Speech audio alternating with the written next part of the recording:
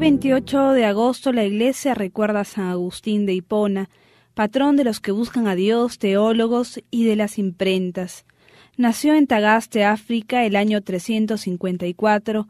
Después de una juventud desviada doctrinal y moralmente, se convirtió estando en Milán y en el año 387 fue bautizado por el obispo San Ambrosio. Vuelto a su patria, llevó una vida dedicada al ascetismo y fue elegido obispo de Hipona. Durante treinta y cuatro años en que ejerció este ministerio, fue un modelo para su Grey, a la que dio una sólida formación por medio de sus sermones y de sus numerosos escritos, con los que contribuyó en gran manera a una mayor profundización de la fe cristiana contra los errores doctrinales de su tiempo. Está entre los padres más influyentes del Occidente y sus escritos son de gran actualidad, este gran santo doctor de la Iglesia murió en el año 430.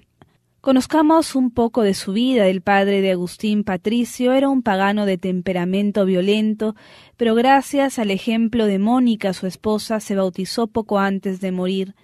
En su juventud se dejó arrastrar por los malos ejemplos y hasta los treinta y dos años llevó una vida desordenada aferrado a la herejía maniquea. De esta época de su vida habla en sus confesiones que comprenden la descripción de su conversión y la muerte de Mónica, su madre, obra que fue escrita para mostrar la misericordia de Dios hacia un gran pecador, que por esta gracia llegó a ser también un gran santo.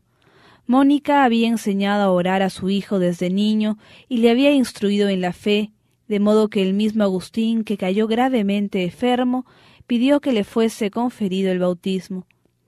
Mónica hizo todos los preparativos, pero la salud del joven mejoró y el bautismo fue retrasado.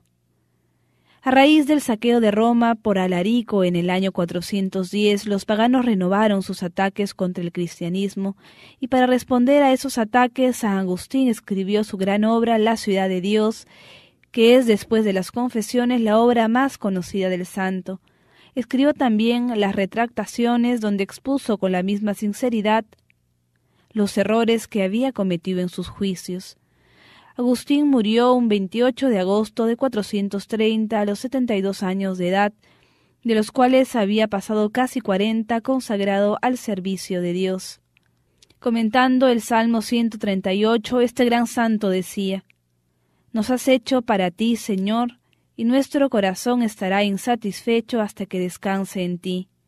Señor, que todo mi corazón se inflame con amor por ti, Haz que nada en mí me pertenezca y que no piense en mí, que yo queme y sea totalmente consumido en ti, que te ame con todo mi ser como incendiado por ti.